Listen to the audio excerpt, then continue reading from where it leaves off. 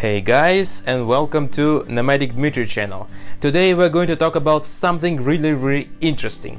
So the Apple just announced that they're gonna switch from Intel processors to ARM and this is basically gonna change everything in my opinion. I actually wrote an article yesterday about the reasons why it's a good move and it's also a bad move. I wrote an article on Medium, you can read down in the description below. But today we're just gonna go through this article and add my additional um, conclusions that I did after the presentation because, well, the presentation also clarified some points. So let's go over it. So the first thing is that ARM processors really use less power. ARM processor uses less power and for that reason the battery life is going to be much much better, tremendously better than before comparing to Intel processor. This is true and this is actually gonna change a lot of things like our Mac's gonna work much longer, the whole way of using computers gonna be like pretty much the same like iPad, right? On iPad you can like just use it for many hours, so now you're gonna be doing, doing the same on uh, your Mac, so which is really great. The second point is that Mac OS is based on Darwin, right? Darwin is the core of macOS. I actually have a video about that. But since it's uh, portable on any platform and this has been running on uh, iPhones and iPads and watch and the Apple TV on many devices for many years already. So it's really easy to use the same core, which is completely fine running on ARM on Macs. So it's gonna be easy transition for the core itself. So um, we're not sure yet about the applications, we're gonna talk later on about this, but the core itself is gonna be already like running just fine. And actually it was already showed during the presentation that macOS just runs completely fine from the ARM processor. So this is really great. Many applications on iOS and iPad are optimized for ARM platform. And actually it was announced today during the presentation that those apps can be running without any modifications or just just a bit of modification on Mac OS. Basically you can run your favorite iPhone and iPad applications on Mac now without any additional like recompilation just it's just gonna be running just fine. Well we hope at least. We don't know exactly how it's gonna work out but we hope that it's gonna be running fine on the mac which is really cool. Like there are lots of really great apps on the platform so we're gonna see these apps push to the mac os which is cool Another good point is that the whole ecosystem will be controlled by Apple now, right? So they're gonna control the processors, they're gonna control even the GPU, so they're gonna control everything. So the whole production line will be controlled by them, and for this reason, they're able to completely like um, adjust whatever they want for the Mac, for the iPhones, for the iPads, they mean it's gonna be the same ecosystem, the same processors all over. So like it's really easy to have like one app running on uh, one platform or another. They can introduce more platforms later on, so it's really easy. So it's really cool for that reason.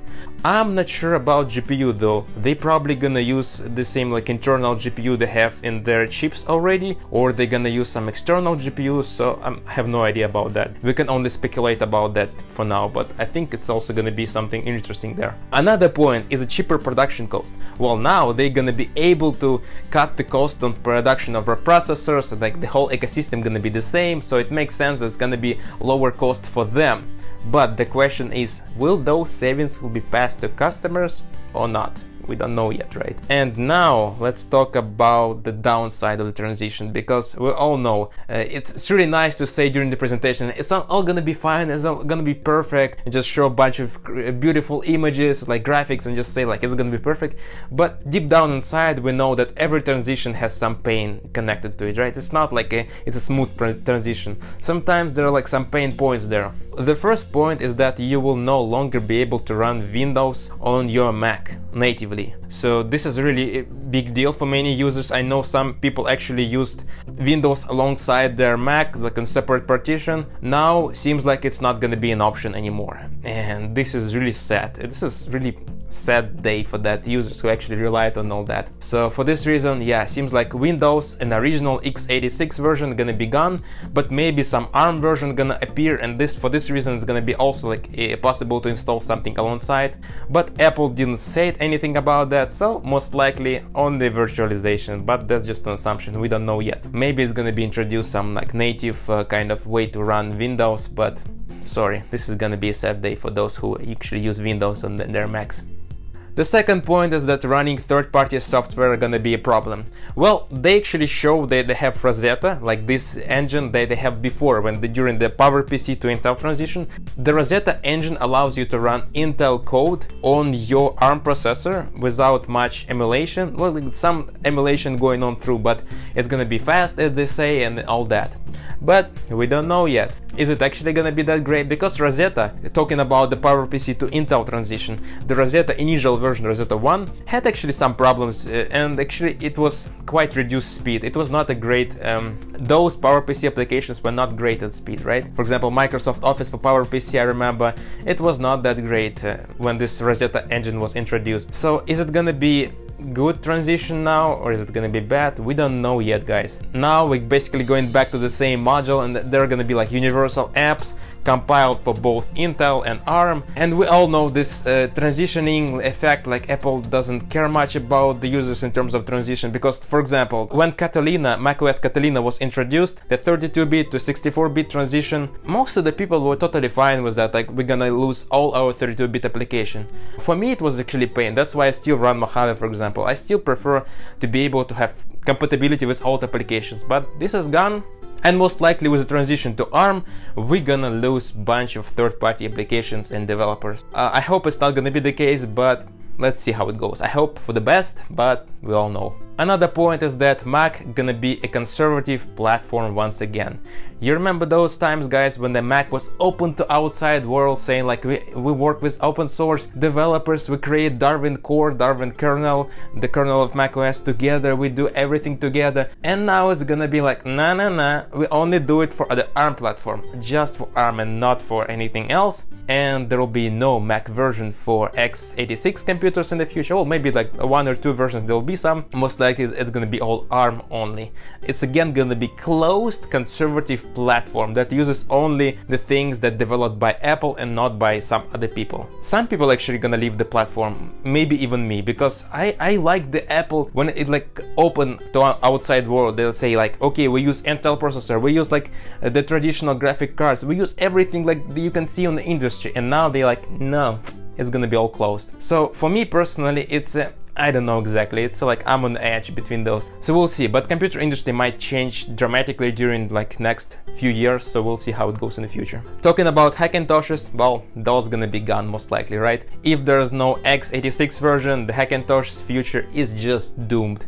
So there is no way to run Hackintosh. Honestly, I've tried Hackintosh with like during the initial years of the Hackintosh development because it was cool, it was nice, like people were working on that project and it felt exciting, but at the same time, after like patching this kernel and trying to install updates and like trying like different bootloaders to boot Mac OS. I actually bought Mac. So for this reason, I think Hackintosh is a great way to get familiar with macOS to migrate to good Mac because Hackintoshes were never that great. I mean, some people still use it and really like it, but I personally just abandoned this idea. It's not great. Every new update, they're gonna just crash everything and just didn't work. So, I mean, yeah, maybe it's not a great loss, but for many people it's gonna be really bad. So they're gonna lose their like the way to run Macs on their favorite hardware. So this is sad.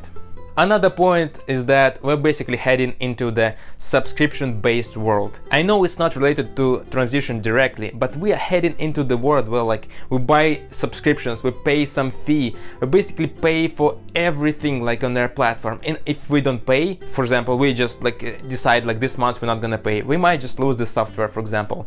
It's all gonna be closed, attached to specific account, a specific user. It's all gonna be most likely all applications will be now installed through the Mac App Store.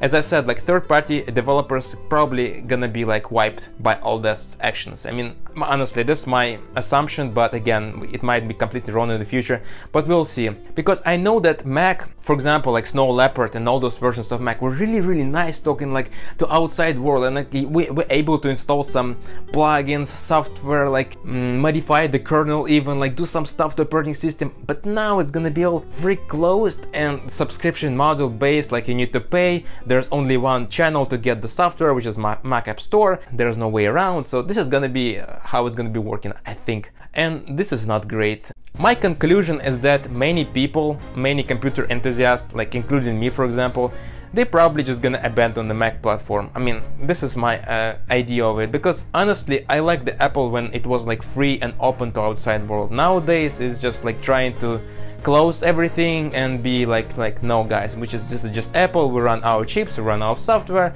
we control everything. So this is not exactly my idea of good computer systems but we'll see how it works out in the future. So let me know what do you guys think. They're like downsides and upsides right for all the transitions. So let me know what you think in comments down below, uh, press the like button if you like the video and please subscribe actually, it's actually needed at this point because I really want to share like my view uh, of different operating systems, of different software I use, just like to create some kind of community of enthusiasts and all that. So alright guys, see you later.